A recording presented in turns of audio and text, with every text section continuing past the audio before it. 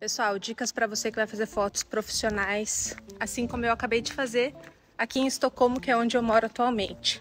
Dica número 1, um, vá no Pinterest e olhe todas as referências, separe, às vezes até o fotógrafo te pede isso e facilita muito.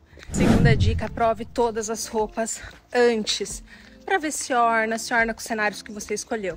Terceira dica, se você vai usar algum elemento de cena, café, fone de ouvido, no meu caso é computador, é celular, porque é como eu trabalho, já deixo isso separado também. Quarta dica, se você quer transmitir uma imagem mais próxima da realidade, eu sugiro que você mesma faça sua maquiagem e cabelo. Te digo porque eu já fiz umas fotos poderosérrimas com cílio postiço de 2 quilates, assim. Só que quando as pessoas me encontravam presencialmente, elas falavam: Nossa, Paula, você é diferente. E aí eu entendi que talvez eu tava projetando uma imagem melhor do que a realidade. E é isso, ó, vou mostrar um pouquinho dos bastidores.